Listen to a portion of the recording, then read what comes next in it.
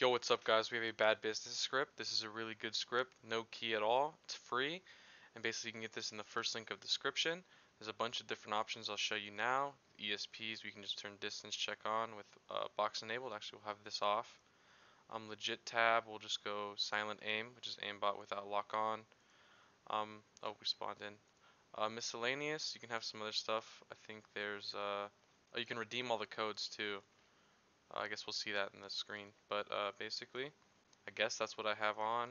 I think there is, I'm blind. Okay, so right here, you can have recoil enabled, which is going to just enable these factors right here at 0%. So you can have no recoil, change some fire rate, basically. You have that on, right shift to close it, basically. And you can press right shift again to reopen it, basically, just like this. You can easily kill them. You can change the settings up where it's not so blatant as well. I mean, also there's a way to get infinite ammo, I think, where you don't have to reload. Uh, there's a no reload tab somewhere. You guys can look for yourself. Basically, um, very easy to use script. Um, and yeah, basically you can make the options whatever you want. A bunch of different options you can choose from. Again, this script is in the first link of description.